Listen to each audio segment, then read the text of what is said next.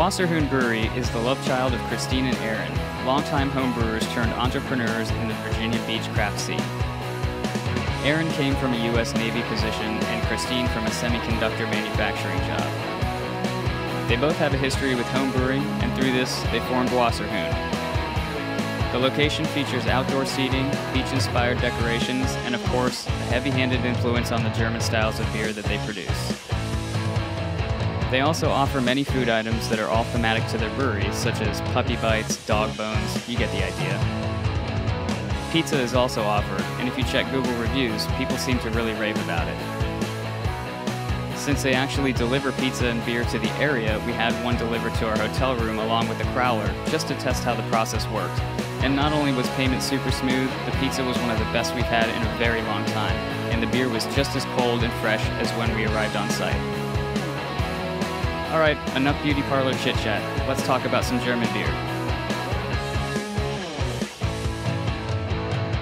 Hey guys, back again with another brew review. We are Andy and Sandra, your hosts, and today we are at Wasserhund. This is a German-inspired brewery, very heavily influenced by all the German styles of beer that exist in the world today. Um, and today we are just on a quest to experience German German style stuff. beers, yeah. So uh, we have here six beers. They also do flights of four here, and they do flights of eight. That's in the shape of a German Shepherd's head. It looks really cool. Yeah, so part of their brand is German Shepherd. So it's Wasserhund and then the head of a German Shepherd. Yes, super very cute. dog themed. Everything Yeah. is dog themed, even down to the food that they serve here. Yeah. They have little puppy bites and uh, kibbles for Yeah, children. and the- they're just named in kitschy little ways. It's pretty cute. The beers are also uh, cleverly named after dog-y stuff. So let's uh, let's just start it off with the lightest beer that we had. Um, I think we have a Kolsch, right? No, it's a Pilsner. It's called Pilsner. A, the Purebred Pilsner. Got it. Purebred Pilsner. And it's this guy right here? Yep. Okay, let's take it in. It smells uh, bre- slightly bready, uh, a little bit corny.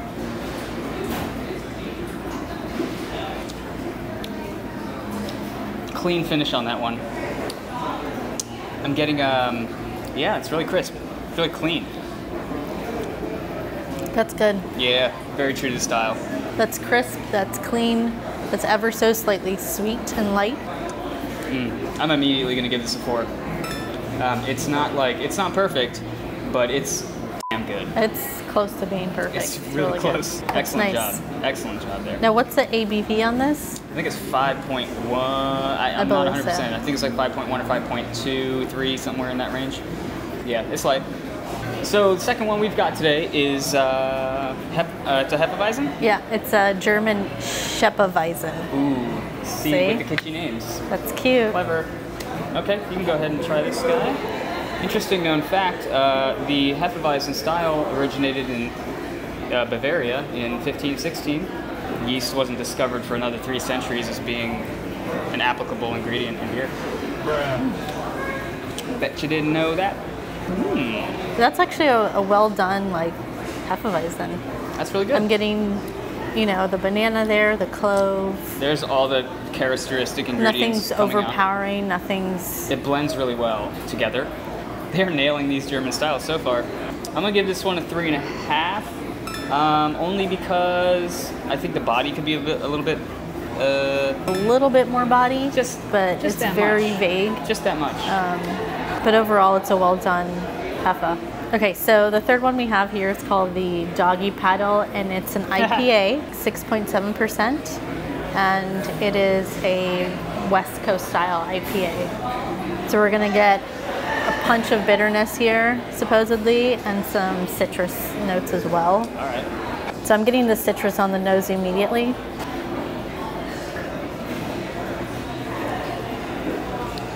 Definitely getting that citrus. Definitely hop forward beer. It's not overly bitter. It's No. smooth. And I think that's um, one of the things they were shooting for in this beer was even though it's considered a West Coast IPA, they didn't want it to be like a hop punch to your t- mouth.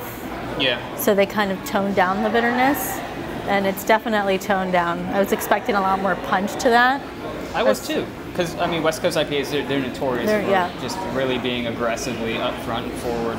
Um, with their hop character. But uh, yeah, I mean this one is, but it's just not. It's like a smoother. Yeah, it's like a traditional IPA, The hop sort of lingers in the back of your in the back of your mouth a little bit, which, which I would cool. expect yeah, out yeah, of a West Coast sense. IPA. Totally yeah. makes sense.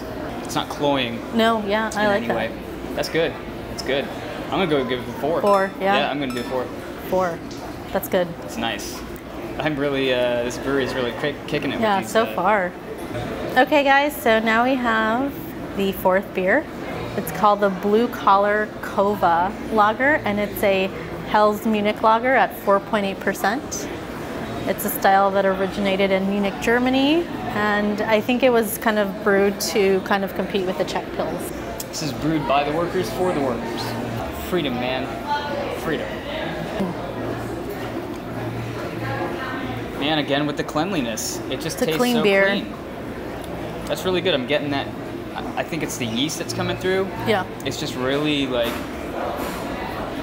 really true to the style. This is one of the reasons why I'm not a huge fan of lagers.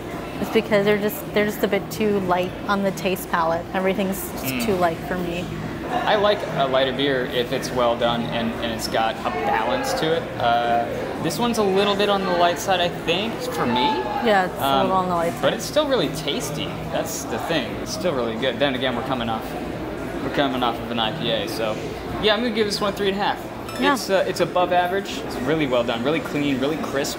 Yeah, that's Uh, clean. it's that's, well carbonated too. It doesn't have too much or too little. It's got a little bit of a bite to it, but not too much, not too little. I think it's a well done lager for sure. It's definitely well done. You can taste it's well done, but as far as personal preferences go, I think it's just a little too light. Now that I just love super heavy beers, so Yep. I'm at a three and a half on it. What are you at? three and a half as well. Cool. We're in agreement there. Great. Awesome. All right, so the next beer is a seasonal beer. Seasonal because it's an it it's an Oktoberfest beer. Bring it on. You usually start seeing these beers come out late August nowadays. Obviously, by September, you're just overloaded with Oktoberfests everywhere you go. Looks great. It's that traditional kind of amber, light golden amber color. Again, silly clear. Very clear, very clean. Their clearing process must be just on Smells delicious. I'm getting a lot of malt. This should have a slightly coppery, malty body character to it when you smell it. Pretty much exactly what I'm getting. A little bit uh, less on the nose than I would than I would think. Yeah. The flavor's definitely there. A, again, a little bit lighter in body than I thought it would be, but all those flavors are really well balanced in there. I'm getting a bit more hops than I thought I would. Yeah, it's malty. It's it is yeah. I'm, I'm getting the hops more now. It's uh it's 6.3 percent, so it's about there with uh, your typical Oktoberfest beers. It's a lighter kind of Oktoberfest. Yes. Yeah. That's what I that's what I think it is. Yeah. Um, but it's a little bit on the light side as far as an Oktoberfest, in my opinion. I'm gonna just go out and let me give this one a four. four. Yeah. Yeah. I'm just gonna say the same thing. A four. Yeah, that's good. I would drink that in the fall for sure. Definitely, I'm excited for when sure. it comes out. Yeah, probably they're gonna sell a lot of that in the fall. Yeah. I would imagine. I think they already sell cans of it here. You can take like to-go cans already. Maybe we'll do that. The number six is called the Puppy Breath. It's an IPA. It's a northeastern style, like hazy IPA. As you can see, it's unfiltered, it's super haze. Um, I just love the name of it, Puppy Breath. It's so cute. She loves puppies. I just love doggos. Super citrusy. I'm getting all the juiciness out of a northeastern IPA that I should be. Uh, and apparently, they used like three pounds of hops in this one per barrel. that's a lot of hops. Which, yeah, it seems like a lot. I'm getting I'm getting citrus and I'm getting notes of of mango, which is my, one of my favorite fruits. Oh yeah, I yeah, I smell that citrus right away. and the mango smell is kind of sweet. It gives it that nice sweet tropical. Oh yeah, yeah. hmm Oh, it's definitely citrusy as hell. Yeah, that's awesome. That's really good. I think I know Sandra's score on this one. I think it's going to be a five straight out the gate. That's a five. Oh, Sandra's Yeah, first top rating. So amazing. Well done, guys. I don't think That I've, I've given a beer a five yet. I don't think you have. I don't think Yeah. you've ever given a beer a five. Maybe I'm a bit biased though because I do love the style of beer, And, you know, when it's we- done well and done right, I'm gonna give it a five. We have uh, had hazy IPAs in the past on Brew Review, and you, you've never given one a five. No, I mean maybe there's just something always there that's just ever so slightly missing, but this one's hitting everything. Everything that I want in my beer, it's hitting it. I'm gonna give it a four and a half. I honestly Yeah. didn't expect that beer to come out of this brewery and be so good because everything is very German inspired. But then again, everything has been very, very top tier. This is a good spread of quality beer right here. Yeah, definitely. I mean, I'm impressed. It's awesome to see a brewery that is just kicking ass with doing these these kinds of styles. Yeah, it just shows their versatility and traditional German style beers, which are difficult to make, and then what's currently in the industry right now. Wasserhund, we can tell that you put time and a lot of effort into these beers, and it shows. Um, does. these are excellent beers, and anybody coming to this area would be amiss to, to not come here and try everything. Yeah, definitely. All of my friends um, Super before we came here were like, "Oh, is awesome. Wasserhund Yeah. is great. Wasserhund this, Wasserhund that," and it turns out, you know what? They were dead on. yeah, a lot They of people recommended this place to come here, and now we know why because the quality is just there. And we have to give a big shout out to the actual brewery staff themselves, which let us come back here in the brew room and film near the barrels. Super cool, you guys, man. All right, guys, well, that does it for us. We're on to another brew review. Thank you to the folks at Wasserhund for letting us come out and shoot. You guys have been super gracious, and we really appreciate it. If you haven't already, like, comment, subscribe, and be sure to hit that bell button to get notified when new videos come out every week. Thanks again, and cheers. Cheers.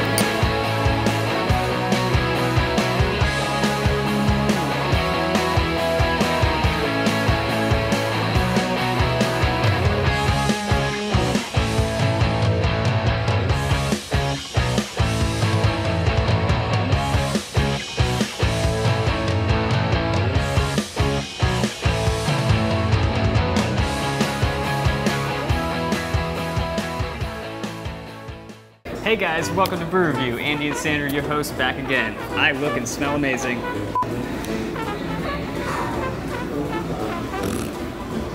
Welcome back to Brew Review. Your host Andy and Sandra back again with another one.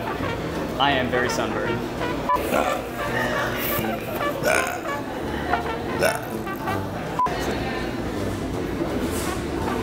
Yeah, Okay. Forgot what I was gonna say. Okay. Hey, okay, ready? Hey guys, back again with another brew review. Your host. Hey guys, back again. Hey guys, another. okay, ready? But I fuck a lot of things up. Hey guys, back again with another brew review. This week we are at Foster. Oh, Do you ever ask Siri a question and expect like a correct answer? Doesn't doesn't happen.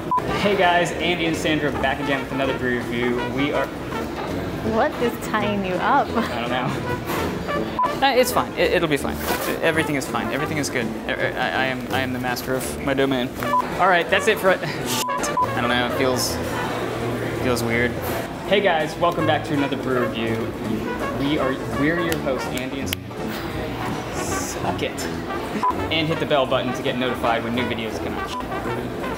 Hey guys, welcome back to another brew review. We are your hosts, Andy and Sandra, and we are Okay, do you want me to say it? no, I got it.